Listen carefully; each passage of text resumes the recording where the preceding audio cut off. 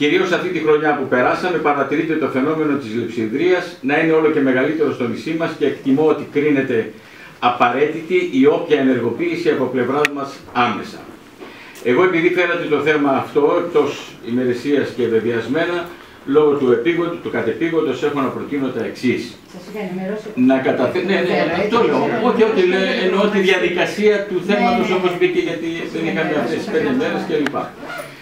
Να καταθέσουμε έτοιμα με απόφαση Δημοτικού Συμβουλίου στο ΙΠΕΣΔΑ για την ένταξή μας σε χρηματοδότηση του έργου ΣΑΕ 055 με τίτλο Εκτέλεση εργασιών από τους ΟΤΑ της χώρας για την αντιμετώπιση του φαινομένου της λειψιδρίας. Ε, καλησπέρα σε όλους σας παλιούς καλούς γνώριμους και συναδέλφους από το τραπέζι.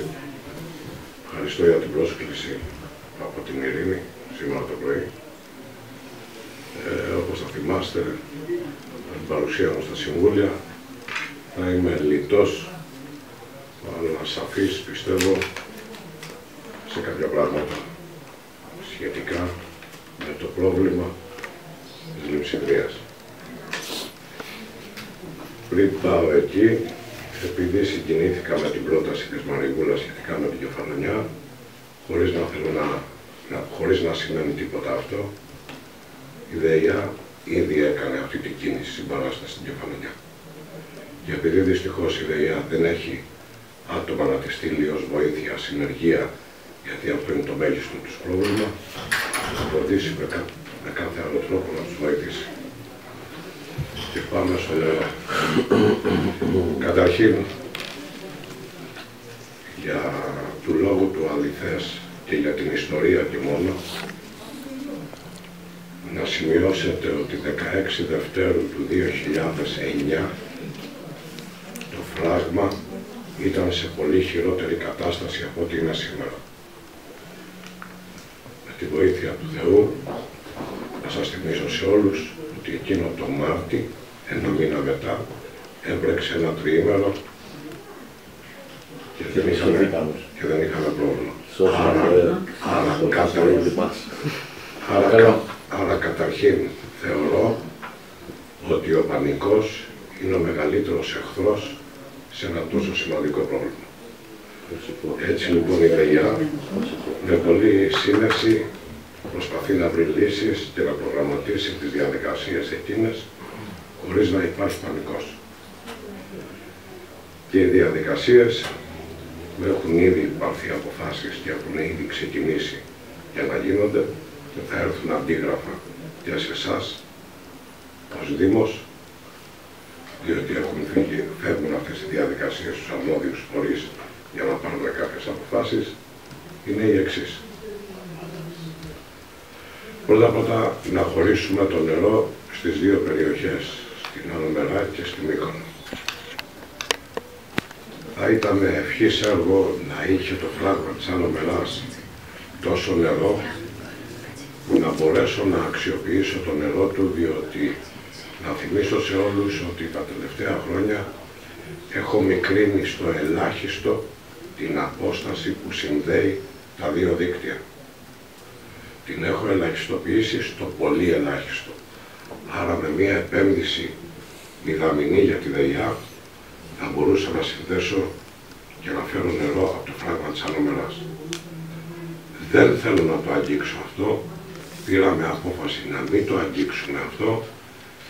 Μην πάμε για μαλλί και βρεθούμε κουρεμένοι και από εκεί που έχουμε ένα πρόβλημα που λέγεται το υπόλοιπο κομμάτι της Μικόνου, δημιουργήσω και πρόβλημα στην Ανομερά. Αυτή τη στιγμή, θεωρώντας ότι δεν βρέχει καθόλου, ότι δεν πρόκειται να βρέξει καθόλου, η Άνω Μελά θα είναι ανεπηρέαστη από το πρόβλημα του νερού. Και πάμε στο, υπόλοιπο κομμάτι της Μικόνου. Ξεκινάμε θεωρώντας ότι από σήμερα μέχρι τη σεζόν όλη το καλοκαίρι πρέπει να ξεκινήσουμε να κάνουμε μια υπόθεση. Και κάναμε εμείς την εξής υπόθεση η υπόθεση είναι η χειρότερη. Ότι δεν βρέχει καθόλου. Άρα δεν μπορούμε να αξιοποιήσουμε νερό από το φράγμα περισσότερο από ό,τι έχει. Προς ενημέρωσή σας και πάλι Βλέπετε με πόσο ηρεμία μιλάω. Ο πανικός είναι ο χειρότερος εχθρός. Αυτή τη στιγμή λοιπόν το φράγμα με τις καλύτερες προβλέψεις έχει νερό με την, ανάλογα με την χρήση που κάνει τους μήνες Γενάρη, Φλεβάρη, Μάρτη και Απρίλη να, να αντέξει ας πούμε απεσιόδοξα, πολύ απεσιόδοξα, τρεις μήνες. Πολύ απεσιόδοξα. Θα μπορούμε να αντλήσουμε ίσως και κάτι περισσότερο, αλλά ας πάρουμε τα στοιχεία της κατασκευής του φράγματος, της ιδιομορφίας των αντλειών, του δικτύου γενικότερα. Δεν θεωρούμε ότι τα 600.000 περίπου 700.000 κυβικά περίπου που έχει τώρα ότι είναι αντλήσιμα όλα, δεν μπορεί να είναι αντλήσιμα. Δεν μπορεί να είναι αντλήσιμα. Έτσι. Γι' αυτό λοιπόν θεωρώ με, ένα, με μια μέση κατανάλωση που έχει η Μύκονο αυτή τη στιγμή περίπου 4.500 κυβικών το μήνα, 45.000 κυβικών το μήνα, θεωρήστε περίπου ότι έχουμε νερό για τρεις μήνες, άντε μία-τέσσερις. Θεωρώντα λοιπόν και ξεκινώντας και πρώτα ως υπόθεση ότι δεν βρέχει ο Θεός, άρα από κάποιο σημείο και μετά πρέπει να ξεχάσουμε την ύπαρξη της λιπνοδεξαμενή του μαραθιού, οι κινήσεις μας, οι προγραμματισμένες, είναι οι εξής. Πρώτον, να θυμίσω τη μεγάλη επένδυση της μονάδας απαλάτωσης που είναι μεγαλύτερη στα Βαλκάνια που έκανε Μύκονο ξεκινώντας το 8 όπου και ο πλέον απεσιόδοξος Μικονιάτη δεν μπορούσε να φανταστεί τι χρειαζόταν μια επένδυση τάξη των 5 εκατομμυρίων όταν διαθέτει το νησί μια λιμνοδεξαμενή 3 εκατομμυρίων κυβικών. Να που οι ανάγκες το φέρανε και ζήσαμε και αυτό. Αυτή τη στιγμή λοιπόν έχουμε την καινούργια αφανάτωση να σας θυμίσω επιδοτήθηκε 2.200 από το Υπουργείο και τα υπόλοιπα 3 εκατομμύρια τα έβαλε η ΔΕΗ Σπόρηση ΔΕΙΑ και υλοποιήθηκε και ολοκληρώθηκε γύρω στο 2010.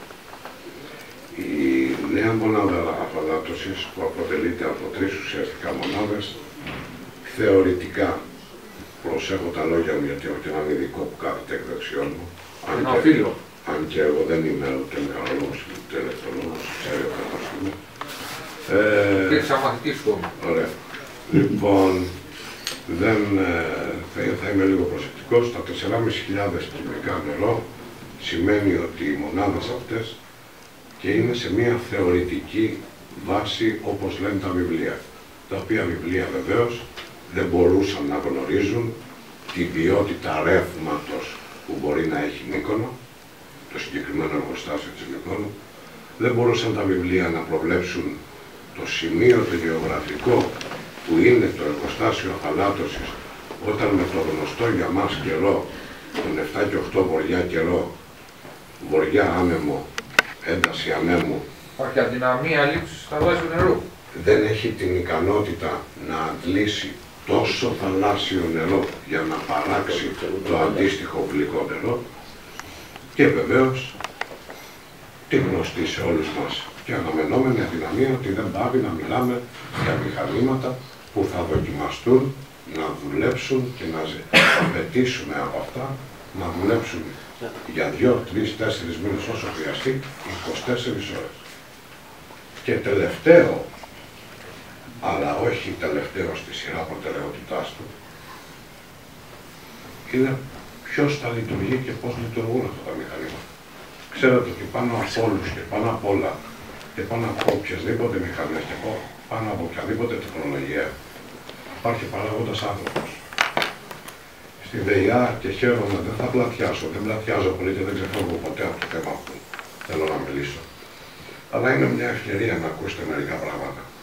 Σε μια δημοτική επιχείρηση, που ουσιαστικά είναι μια ΑΕ γιατί είναι ειδικού σκοπού, που έχει έναν οργανισμό που προβλέπει 50-60 θέσεις και αυτή τη στιγμή είμαστε 20. Έτσι που με τις πολιτιακές αποφάσεις των τελευταίων ετών εν ώψη στο λόγο της κρίσης έχουν κοπεί και κόβονται τα πάντα. Δεν υπάρχει δέλεα στον ένα απομείναντα υπάλληλο να του δώσω υπερορία να πάει να κάτσει, όταν η υπερορία που θα αμυνθεί θα είναι της τάξης των 3 ευρώ, ευρώ καθαρά το μήνα. Πέραν όμως αυτού και εκτός από αυτό υπήρξε και μια άλλη ανεγκεφαλιά πολιτιακή να εντάξει της ΔΕΙΑ στο κύκλωμα του ελεγκτικού συνεδρίου. Το οποίο μας δυσκόλεψε, δεν μας ταλαιπώρησε εμάς και δεν θέλω να πω ότι η ΔΕΙΑ υποφέρει με το ελεγκτικό συνέδριο, γιατί δεν είχε να φοβηθεί και δεν έχει να φοβηθεί τίποτα. Απλά δυσχεραίνει λίγο τις λήψεις των αποφάσεων, την γρηγοράδα των αποφάσεων και μας έχει κάνει λίγο πιο δύστοκους σε σχέση με το παρελθόν. Με όλα αυτά σαν βάση, λοιπόν, έχουμε 4.500 κυβικά. Το κρατάτε αυτό, θα πω πολύ λίγα νούμερα για να συγκρατηθούν από όλους σας.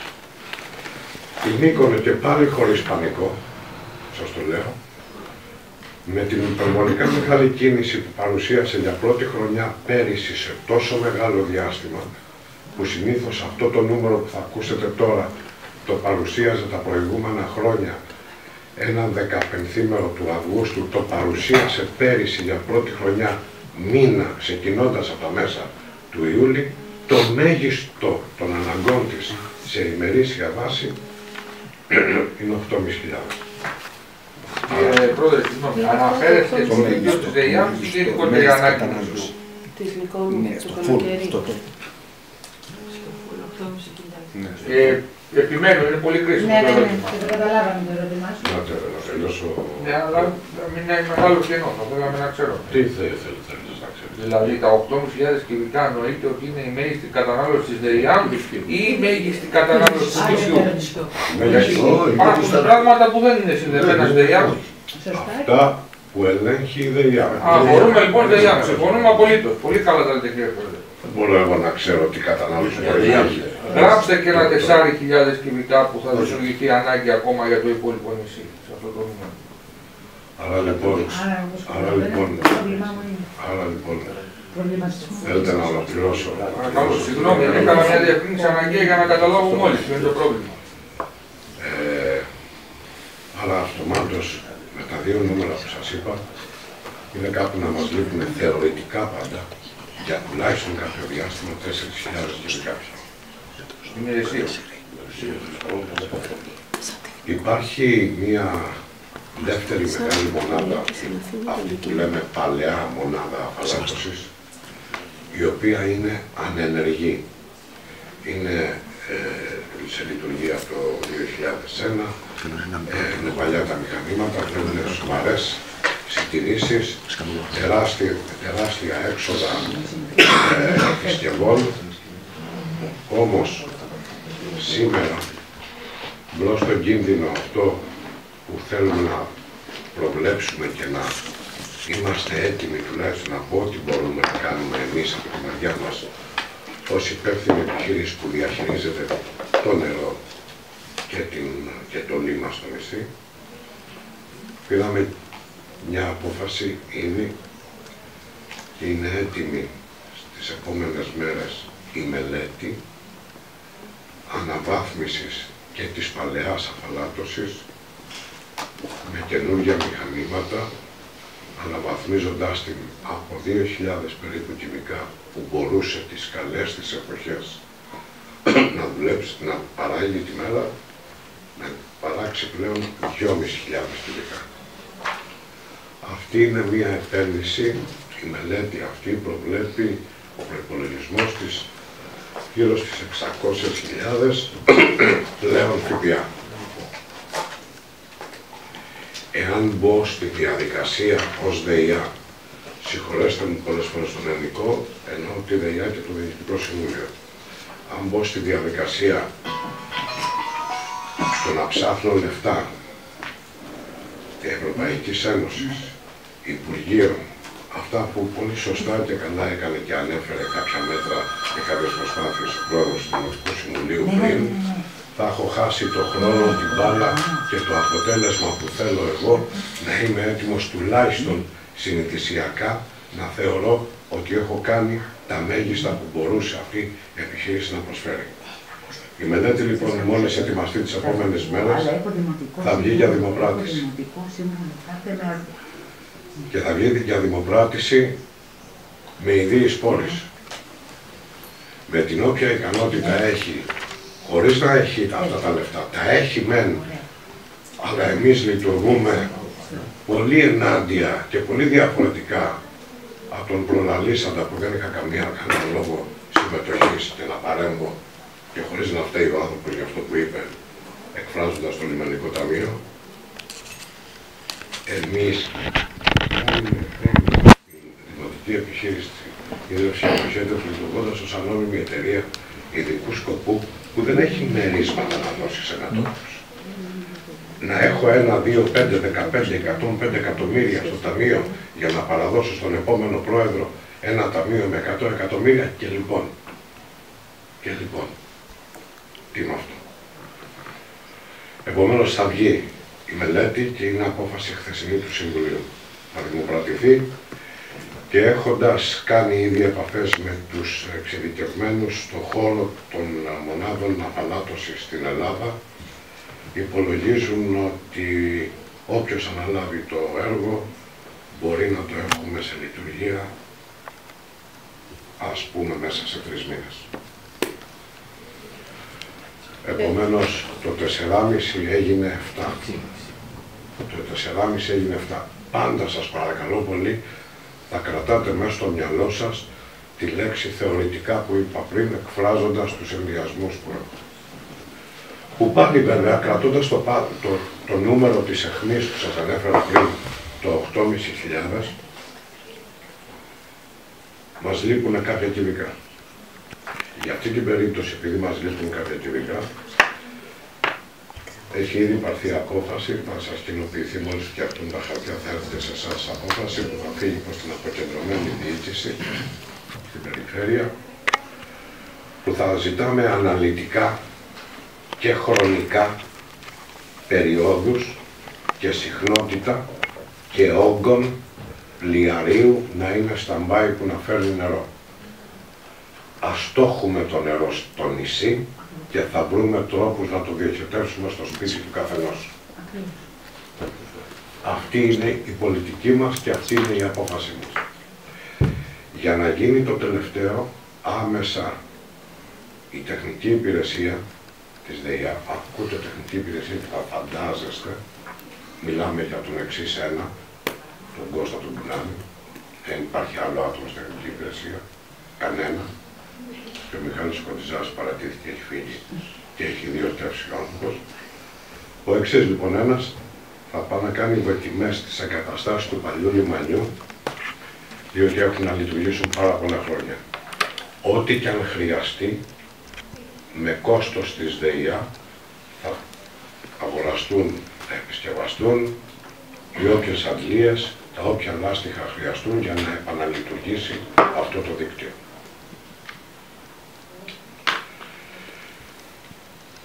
Και τέλος, υπάρχει ακόμα μία σκέψη στην ανάγκη και εκεί θα ζητηθεί άμεσα η βοήθειά σας, αλλά αυτό δεν θα σας το πω από τώρα, θα σας ενημερώσω εγκαίρως και εγγράφος, εάν χρειαστεί κάθε εξαίρεση. Και, ένα, και για ένα συγκεκριμένο χρονικό διάστημα, εάν χρειαστεί, με έξοδα της ΔΕΙΑ πάντα, χωρίς να επιβαρυνθείτε εσείς, θα μας επιτρέψετε να μπούμε και να ε, περάσουμε κάποιους εξωτερικούς αγωγούς για να προσθέσουμε δύναμη, ισχύ δηλαδή, μεταφοράς νερού από το παραγόμενο γλυκό νερό των δύο αφαλατώσεων. Όσο πιο πολύ νερό μπορούμε, στις όποιες δεξαμενές ή στο όποιο δίκτυο μπορούμε. Αυτά σε γενικές γραμμές ήταν οι αποφάσεις μας και ο τρόπος που θα κινηθούμε.